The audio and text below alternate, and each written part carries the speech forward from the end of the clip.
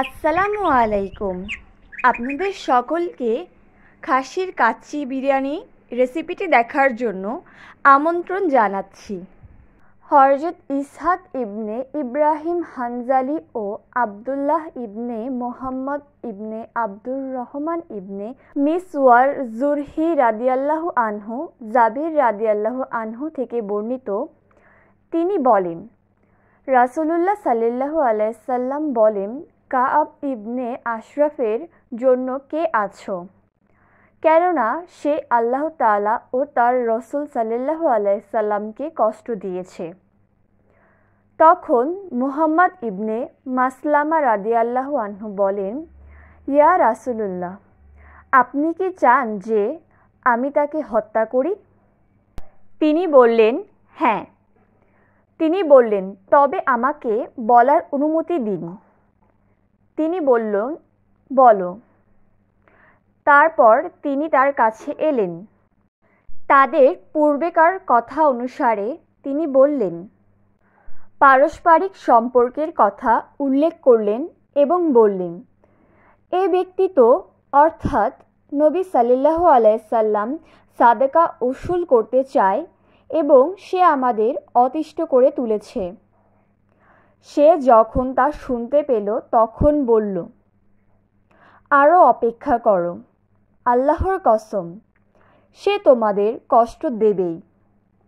তখন তিনি বললেন, আমরা সবেমাত্র তার অনুসারী হয়েছি। তাই ব্যাপারটা শেষ পর্যন্ত কোথায় গিয়ে গড়ায় তা না দেখে এ মুহূর্তেই তাকে ত্যাগ করাটাও সমীচীন মনে করছি না। এখন আমি চাই, তুমি আমাকে কিছু ধার দাও। সে বলল, তুমি আমার কাছে কি বন্ধক রাখবে? তিনি বললেন, তুমি কি চাও? সে বলল, তোমাদের রমণীদের আমার কাছে বন্ধক রাখো। তিনি বললেন, তুমি হলে আরবে সবচাইতে সুন্দর পুরুষ। তোমার কাছে কি বন্ধক রাখব আমাদের রমণীদের? তখন সে বলল তাহলে তোমাদের সন্তানদের আমার কাছে বন্ধক রাখো।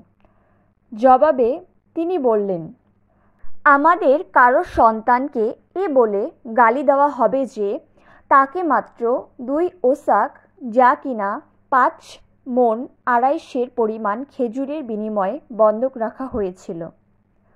আমরা বরং তোমার কাছে যুদ্ধাস্ত্র বন্ধক রাখব। সে বলল, ঠিক আছে। তখন তার সাথে ওয়াদাবদ্ধ হলেন যে হারিস আবু ইবনে জাবর ও আব্বাস ইবনে বিশ্বসহ তার কাছে আসবেন। তারপর রাতের বেলা তারা তার কাছে আসলেন এবং তাকে ডাকলেন। সে তাদের কাছে নেমে এলো। রাবি সুফিয়ান রাদিয়াল্লাহু বলেন, রাবি আমর ব্যতীত অন্য রাবি বলেন। তখন তার স্ত্রী তাকে বলল, আমি এমন একটি আওয়াজ শুনতে পাচ্ছি, তা যেন খুনের স্বর সে বলল, এ হচ্ছে মুহাম্মদ আর তার দুধ ভাইয়ের আবু নায়লা।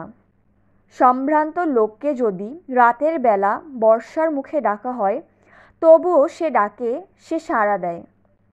মুহাম্মদ তার সঙ্গীদের বললেন, সে যখন আসবে, তখন আমি তার শির লক্ষ্য করে আমার হাত বাড়াবো। যখন আমি তা ভালো মতো ধরে নেব, তখন তোমরা তোমাদের কাজ সেরে নেবে। তিনি বলেন, তারপর সে গায়ের চাদর জড়িয়ে নিচে নেমে এলো। তারা বললেন, আমরা তোমার নিকট থেকে অতি সুঘ্রাণ পাচ্ছি। সে বলল হ্যাঁ আমার স্ত্রী অমুক হচ্ছেন আরবের সর্বাধিক সুগন্ধ পছন্দ মহিলা। তখন তিনি বললেন, আমাকে তা থেকে একটু সুবাস নিতে অনুমতি দিবেন? তখন সে বলল হ্যাঁ। তখন তিনি তার মাথা শুকলেন, তারপর আবারও শুকলেন। এরপর পুনরায় বললেন, আমাকে কি আবারও একটু ঘ্রাণ নিতে দেবেন? এ কথা বলে তিনি তার মাথা শক্ত করে ধরে সাথীদের বললেন, তোমরা সেরে ফেলো। তিনি বলেন, তখন তারা তাকে হত্যা করে ফেলল। আশা করি খাসির কাচ্চি বিরিয়ানি রেসিপিটি আপনাদের ভালো লেগেছে।